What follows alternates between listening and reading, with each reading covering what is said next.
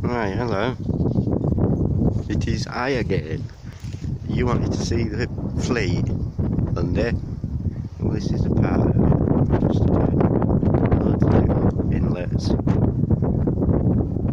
It goes over to Chesil Beach, which goes all the way right over there in the distance. It's Portland.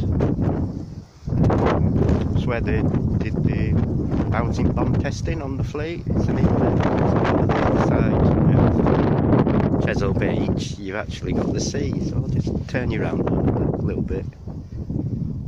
It's only going to be a short one, this.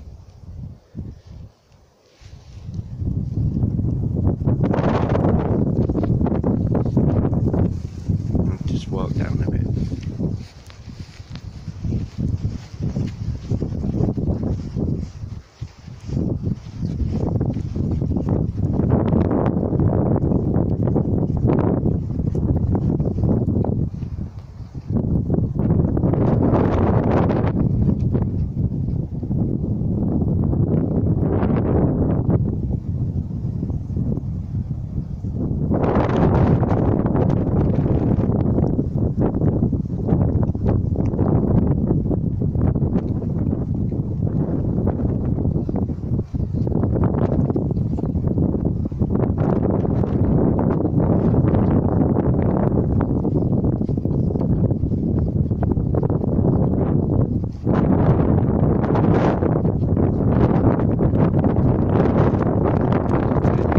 Well, look, a bit boring, I suppose, but I'm used to it.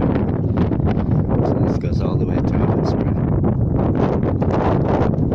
Which I've been a part of it, and I just thought, go on then. Somebody wanted to see a video,